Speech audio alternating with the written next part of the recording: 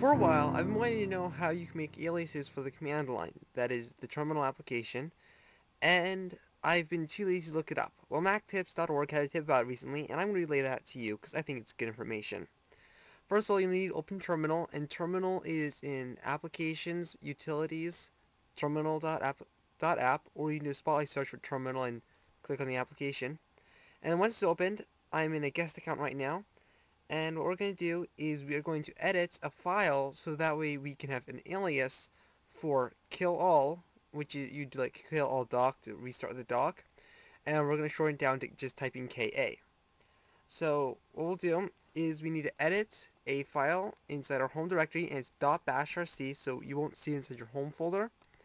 And so to do this we'll use Pico. Pico is a text editor.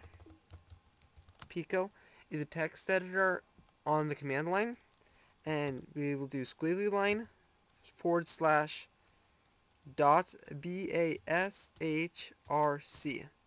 We'll hit return. And this opens up the Pico editor. Now this is all textual, you do not use your mouse at all. And what we want to do is we want to type in alias, A-L-I-A-S, and then we'll type in what we want the alias to be. So we'll do K-A, and then we'll do an equal sign, then a quote sign, and then we'll type in kill all, now in quotes. Now we want to hit Control X. You'll notice in the lower left hand corner, right here, it's it has a caret and then X, and that means Control X, and that will exit. It'll say, do you want to save? We'll say yes, and say file name write to, and that's what we want. So we'll hit return, and now we'll say source.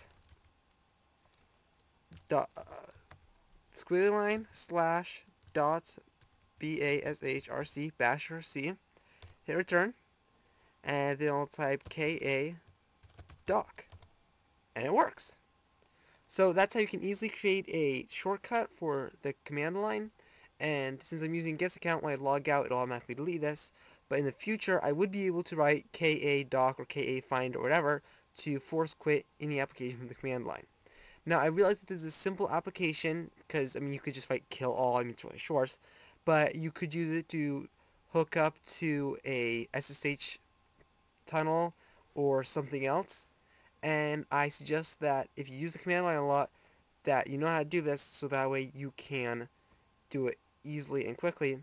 Or if you want your parents, for example, to be able to use easy things in the command line, such as restarting the dock, then you might want to do something like KAD, and that'd be kill all dock, and then instead of doing kill all, you just do kill all dock, so you can type in KAD return.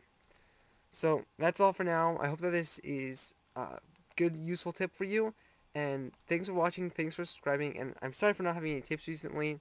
It's been kind of hectic. These movies take a little while to make, but if you do not read the blog, I suggest that you do, because I had a terminal tip yesterday of basic command line terminal things.